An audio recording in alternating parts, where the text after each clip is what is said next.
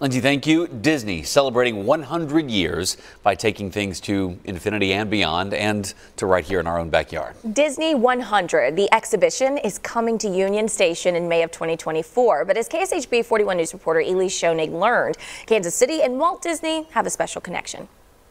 Walt Disney's history with Kansas City goes back almost a century ago, starting right here on UMKC's campus with the kangaroo mascot, plus some faith, trust, and a little bit of pixie dust.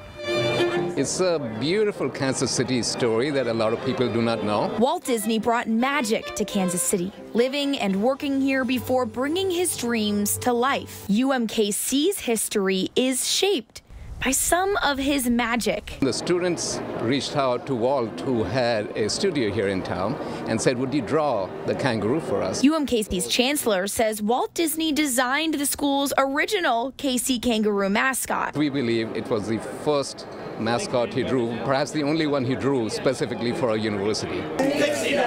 Pixie dust was literally in the air for Wednesday's special announcement at Union Station. It's a perspective of a story of homecoming that encompasses nearly 100 years of imagination and entrepreneurism. This exhibition will bring artifacts, galleries, behind the scene looks, and more the characters and films that have captured our imaginations for a century.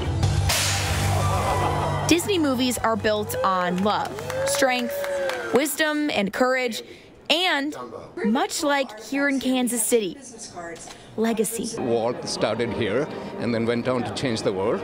Uh, and then anybody here, students here in Kansas City, could do the same and follow in his footsteps. In Kansas City, Elise Schoenig, KSHB 41 News.